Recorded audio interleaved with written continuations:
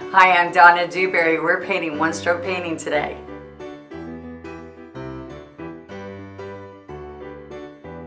What I what I do with the centers is that I might get the lime green and I might just dot some of these.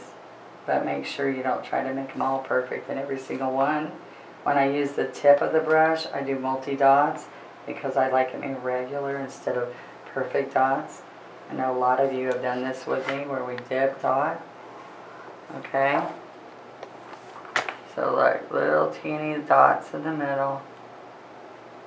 And that helps take away from the green stems that show through that too.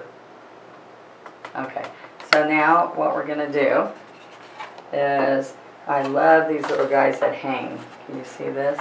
Look how cute those hang from the flower. So what I'm going to do is I'm going to touch and pull in.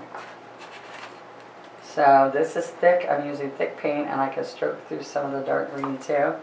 And these, I think, are the fun thing I like to do on this flower is because I think it gives it dimension.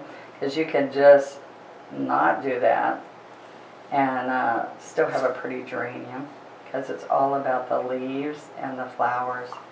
Alright? And then the other thing is I like to touch because this is a new one coming out. And then sometimes you can just put some loose little starting to burst open blossoms here and there. Okay, so the important thing to show you now is how do we get this fun red rim inside the geranium. Alright, so this is how we're doing it. We're going to take medium on both sides of the brush. Then we're going to come right here and we want to side load and you can't dip into this.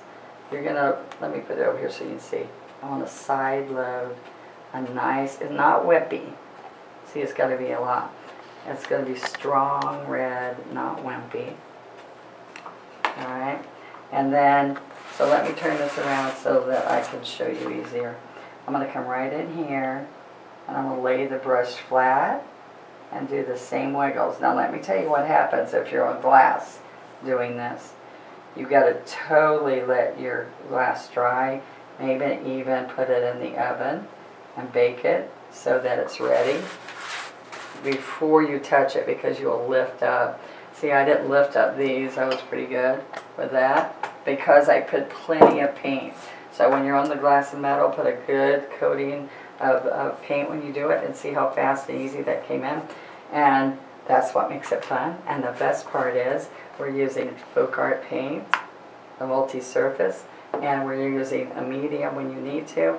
And that's the magic, having your flat brushes and your script liner. That's all I used on here is a 12, a 3 quarter, and a number 2 script liner. Now, was it that fun? I had a good time. I hope you did.